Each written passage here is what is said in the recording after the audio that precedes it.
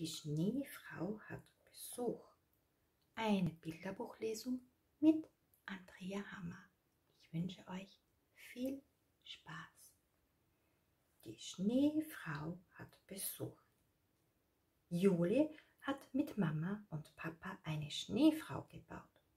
Eine, die lustig lacht, mit Kastanienaugen, einer Tannenzapfennase und einem roten Apfelschalenmund. Siehst du ihn? Und mit langen Haaren aus Heu. Eine Brille aus Draht hat sie auch, damit sie besser sehen kann.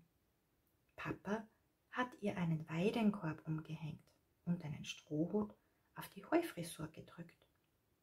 Zuletzt hat sie von Juli Knöpfe aus Muschelschalen bekommen.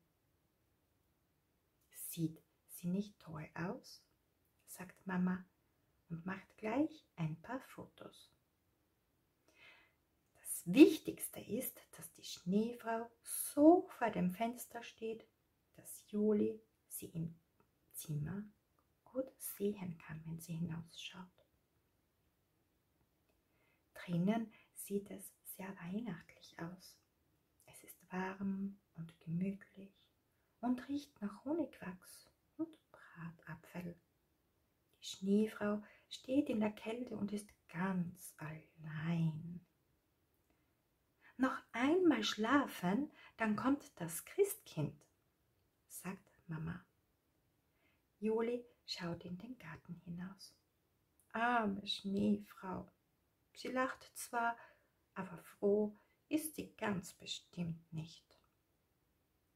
Juli hat eine Idee. Die Schneefrau soll Futter für die Tiere in ihrem Korb haben. Nüsse, Rosinen, Äpfel und Karotten. Dann ist sie bestimmt nicht mehr so oft allein. Schau, sagt Mama am nächsten Morgen, wie viel Besuch sie schon bekommen hat. Frohe Weihnachten, liebe Schneefrau. Oh, freut sich Juli. Die Geschichte ist aus dem Buch Nicolo, Keks und Weihnachtsstern.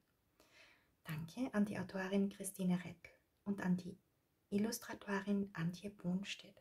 Danke an G&G Verlag www.ggverlag.at. In diesem Buch gibt es noch weitere Ideen, die dich vielleicht in der Adventzeit begleiten können, wenn du möchtest. Wenn du magst, hören wir uns bald wieder. Eure Andrea Hammer.